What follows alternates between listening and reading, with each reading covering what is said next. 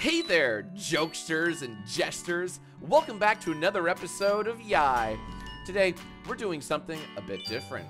We're writing a comedy special together, but with a twist. It's a parody of far. Don't say it. It's a parody of far right comedians who think being woke is all about Pronouns! let's dive in and see what folds. I love when I love when a person uh, making comedy um, tells the world like, "Don't worry, it's just a parody." I love that. All right, my fellow script writers, it's time to channel our inner provocateurs and come up with some spicy lines. How controversial can we get? Let's find out. ah, yes, the two genders, jokesters and jesters. That's right. First up, we have. we have free speech Frank's contribution. Oh, why did the woke chicken cross the road? Because it identified as a road runner and wanted to explore its pronoun options. what? I feel like we're jamming in pronouns there for no reason. Next, we have Patriotic Paul's line. I walked into a bar and asked for a gender neutral drink they gave me we did a water joke wait they gave me a water and told me to hydrate my toxic masculinity away good one patriotic paul Poggers! no stop the cringe it's too strong triggered terry shares their line i told my girlfriend i was a non-binary comedian she said does that mean you only tell half jokes i I said no. It means I'm half offended.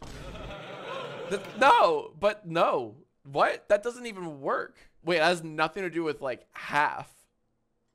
That's not how being non-binary works. Yes, I agree. None of this works. None of this makes sense. Non-bin yeah, apparently non-binary is being only half of genders. So ChatGPT doesn't quite get what that means. And last but not least, Whoa, Woke Warrior Wendy presents their line.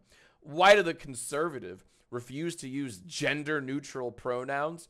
Because they, oh my God, no! Because they identify as an attack helicopter and demand to be referred to as sir. Th- that doesn't make, no, that doesn't make sense though.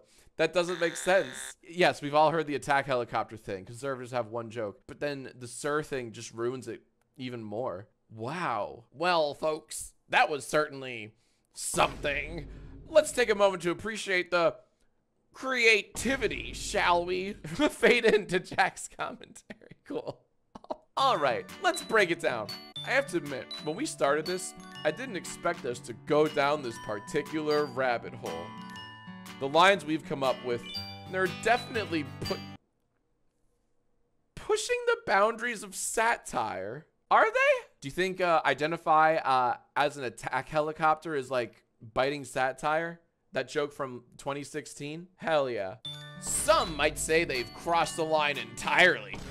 But hey, that's the risk we take when we tackle controversial topics in comedy. I'm really loving this like uh, PSA like afternoon special um, bullshit ending here. We have a lot of fun here, but let's get real. Comedy should always be funny and should always be uh, pushing the boundaries of satire. we walk. A- I hate this guy. He's like just yapping about nothing at all. We walk a fine line between humor and offense, and sometimes we stumble. Okay.